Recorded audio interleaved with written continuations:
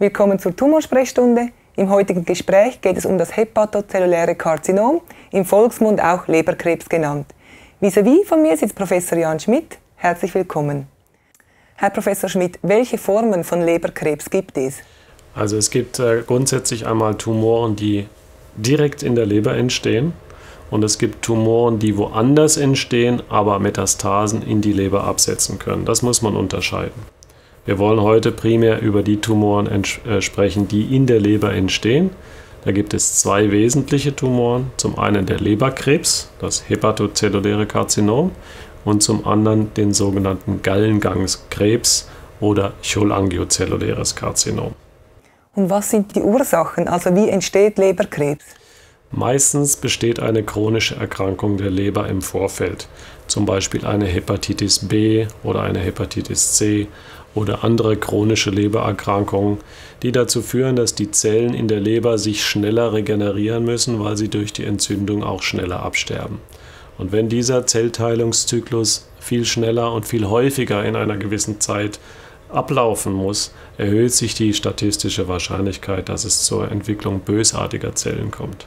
Wie wird die Diagnose Leberkrebs gestellt? Zunächst einmal ist es wichtig zu wissen, ob man selber eine chronische Leberkrankheit hat.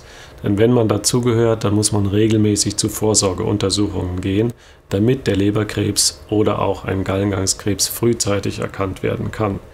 Wenn man das also weiß, dass man eine Hepatitis B oder eine Hepatitis C hat, muss man regelmäßig zu Untersuchungen gehen. Dann kann man das sehr früh entdecken und in vielen Fällen auch heilen. Wenn man das nicht weiß, ist das Problem leider oft, dass die Symptome erst sehr spät eintreten, weil die Leber ein sehr großes Organ ist und erst wenn die Tumoren entweder an vielen Stellen vorhanden sind oder sehr groß geworden sind, Symptome entstehen. Also beim kleinsten Verdacht ruhig mal zum Hausarzt gehen, dass ein Ultraschall gemacht wird, dann kann man doch weitgehend ausschließen, dass an der Leber etwas nicht in Ordnung ist. Darf ich kurz nachfragen? Sie haben einen kleinen Verdacht erwähnt. Was versteht man darunter?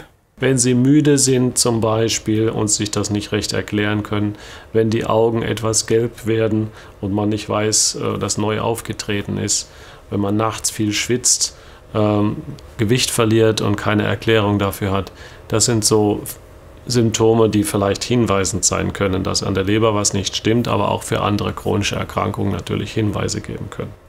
Sie haben den Ultraschall erwähnt. Ist das der erste Weg zur Diagnosestellung? Ja, wenn man, wenn man also noch keinen sehr hohen Verdacht hat, aber einfach äh, einmal wissen will, ob in der Leber eine, eine Geschwulst entsteht, ist ein guter Ultraschall in vielen Fällen aussagekräftig. In allen Zweifelsfällen sollte man jedoch eine MRT-Untersuchung machen, weil diese noch wesentlich exaktere Aussagen über die Leber zulässt. Wenn dann wirklich ein Leberkrebs diagnostiziert wurde, was sind die Therapiemöglichkeiten? Das hängt nun ein ganz entscheidend vom Stadium ab und auch von der Grunderkrankung. Wir müssen hier zwei Szenarien unterscheiden. Zum einen den chronisch Leberkranken, bei dem sich auf dem Boden dieser chronischen, zum Beispiel Hepatitis, ein bösartiger Lebertumor entwickelt hat. Der wird anders behandelt als ein Lebergesunder, bei dem sich zufällig ein Leberkrebs in einer sonst gesunden Leber entwickelt hat. Beim letzteren, also der gesunden Leber mit einem Leberkrebs, steht die Operation ganz im Vordergrund. Aber auch beim chronisch Leberkranken, der noch eine gute Leberfunktion hat, steht die Operation an erster Stelle. Nur wenn die chronische Lebererkrankung so fortgeschritten ist, dass ohnehin absehbarerweise eine neue Leber, sprich eine Lebertransplantation erforderlich sein wird, oder das eben in dem besonderen Fall als günstigste Therapiemodalität äh, erscheint, dann ist auch eine Lebertransplantation in vielen Fällen lebensrettend. Was würden Sie potenziell Betroffenen raten, wenn sie einen Verdacht auf Leberkrebs haben? Das Wichtigste ist, sich in einem spezialisierten onkologischen Zentrum vorzustellen. Nicht? Denn nur dort kann entschieden werden, ob äh, welche Therapie die sinnvollste ist. Und deswegen kann ich eigentlich nur jedem Betroffenen raten, sich an einen kompetenten Onkologen oder auch an ein Transplantationszentrum zu wenden. Dort ist in der Regel äh, die Kompetenz vorhanden, um eine solche Therapie effektiv durchzuführen. Gut, ich denke, Sie haben sehr viel Spannendes erzählt. Gibt es noch etwas, das Sie sagen möchten, das wir bis jetzt noch nicht erwähnt haben? Ich glaube, ich will als Abschlussbotschaft einfach darauf hinweisen, dass auch die Diagnose Leberkrebs in vielen Fällen noch eine Heilung für die Patienten ermöglicht. und wenn die Heilung nicht möglich ist, so doch wenigstens eine mit guter Lebensqualität bestehende Lebensverlängerung erreichbar ist. Und daran müssen, sollten sich Betroffene vielleicht ein wenig aufrichten.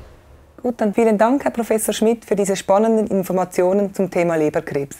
Dankeschön.